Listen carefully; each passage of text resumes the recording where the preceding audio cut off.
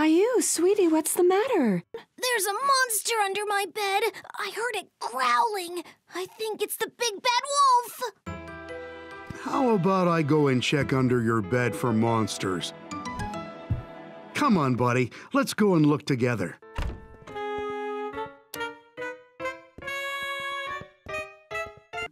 It was coming from under there.